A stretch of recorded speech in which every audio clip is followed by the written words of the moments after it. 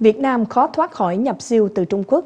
Năm 2015, mối lo nhập siêu từ Trung Quốc lại càng gia tăng khi Việt Nam phải giảm thuế hàng ngàn mặt hàng để thực hiện Hiệp định Thương mại Hàng hóa ASEAN-Trung Quốc, tức ACFTA. Tin từ người lao động, theo Tổng cục Thống kê, ngay trong tháng 1 2015, nền kinh tế Việt Nam tiếp tục nhập siêu khoảng 500 triệu Mỹ Kim.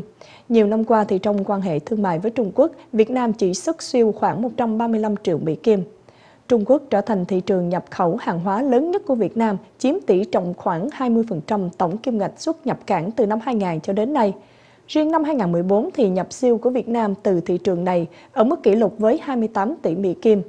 Những ngày cận Tết Ất Mùi, lượng hàng hóa đổ về các chợ siêu thị ngày càng nhiều. Trong đó thì các mặt hàng của Trung Quốc tràn ngập từ sản phẩm trang trí, tiêu dùng, đồ dùng gia đình đến bánh kẹo và quần áo.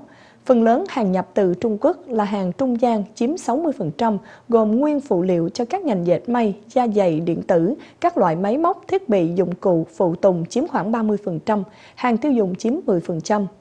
Trong danh sách các mặt hàng nhập cảng từ Trung Quốc năm 2014, Việt Nam tốn hàng chục tỷ Mỹ Kim cho nguyên phụ liệu dệt may, da dày, vải các loại, sắt thép, máy vi tính và sản phẩm điện tử linh kiện, máy móc, thiết bị dụng cụ, phụ tùng, điện thoại các loại. Đó là chưa kể một lượng hàng tiêu dùng khổng lồ từ Trung Quốc ồ ạt vào Việt Nam theo đường buôn lậu. Vì vậy, số liệu thống kê từ phía Trung Quốc thường cao hơn.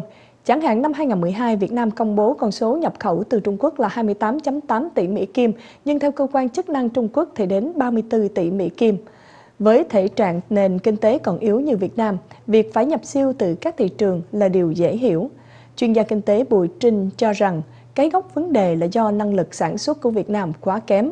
Nếu không nhập từ Trung Quốc cũng phải nhập từ các thị trường khác. Bộ Công Thương dự báo năm 2015, nền kinh tế Việt Nam có thể nhập siêu 6-8 tỷ Mỹ Kim và nhập siêu từ Trung Quốc không ngừng tăng mạnh, xóa sạch mọi nỗ lực xuất siêu từ các thị trường khác.